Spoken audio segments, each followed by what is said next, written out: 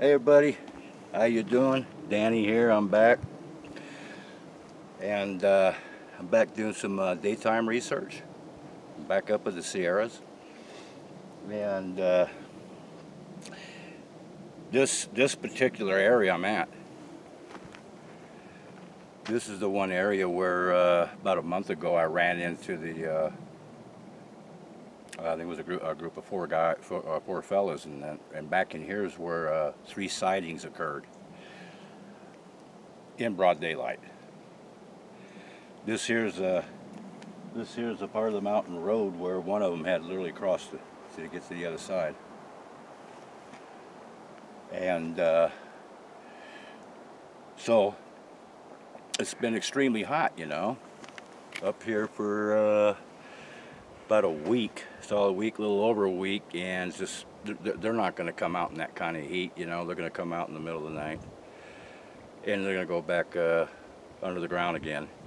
But today, it's nice. As a matter of fact, you know, remember I told you, uh, you know, I keep telling you guys out there about some of the, you know, some of the mysteries of the Sierras. Here we are in late June and right now, me and my cameraman, as we were hiking back in here, we're back in here a few miles, and it started raining on us. right now, right now, in fact, I'll have him show you.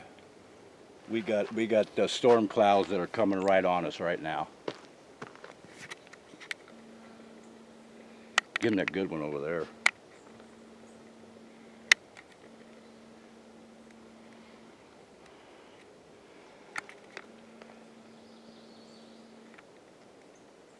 Yeah, so uh, the uh, that's that's how mysterious this place could get. I mean, we get uh, we get uh, like uh, rain comes out of nowhere.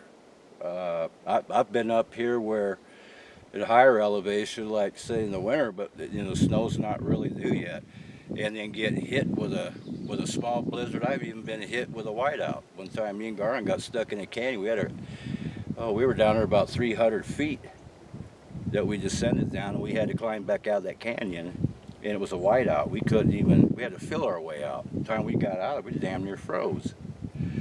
So yeah, very mysterious place, the Sierras. Especially this area I'm at right now. Because you see, I'm in the triangle. This, I'm in a piece of the Sierra Triangle. What I'm gonna have, you quit biting on me, damn it. what I, Oh, and, and, just to show you what kind of a researcher I am, because I keep telling you that's what prevents me from, you know, doing what I need to do. Like say, for instance, today today is my birthday. I could think of better things to do than be up here humping my ass. Trust me. but hey, look, at that that's how important my research is to me, and it's how, that's how important my viewers are to me. Okay, so uh, I'm gonna I'll be up here uh, as soon as I get done uh, what I need to do, I'll be heading back home and then I'll celebrate what's, what's left today for my birthday. Anyway, I'm gonna have I'm gonna have Valentine show you something. I got two breaks, okay, and um, I'm gonna have him point you out. Come on over here.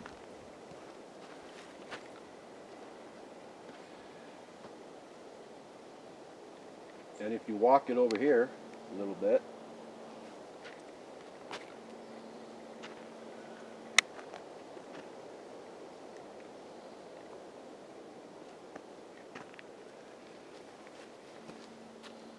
and then bouncing. If you could swing it right over here like this, and then give him a shot, boom, there you go.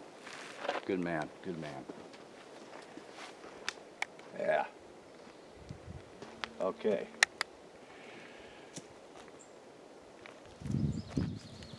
There you guys go, okay? And also back here, there's, which I never do, I've been back here for years. There's also a ghost town back here. We were back here trying to find it. Can't find the damn thing. Um, oh. Uh, something else I wanted to tell you too. There's a new show, there's a new show that aired. And it's called My Bigfoot Sighting. And the and the host is Vic Cundiff. Um, reason I'm telling you this is because uh, I was a special guest on the show uh, this this this past Monday, and I did about a uh, it's around a 75 to 80 80 minute uh, segment, and um, no interruptions, no nothing. I mean, it's just straight talk of my research and my uh, own personal uh, interactions and uh, sightings of these cryptid entities. Uh, if you guys want to check it out, like I said, it's it. Uh, this see, he, he, we talked yesterday. It aired Tuesday. It aired Tuesday night. It's up right now. So just go to you know just go to my Bigfoot sighting, hosted by Vic Cundiff. Look for uh, the special guest Dan Shirley. Listen to it. You won't be disappointed. Trust me. Guarantee it. Don't miss it, man. Don't miss it.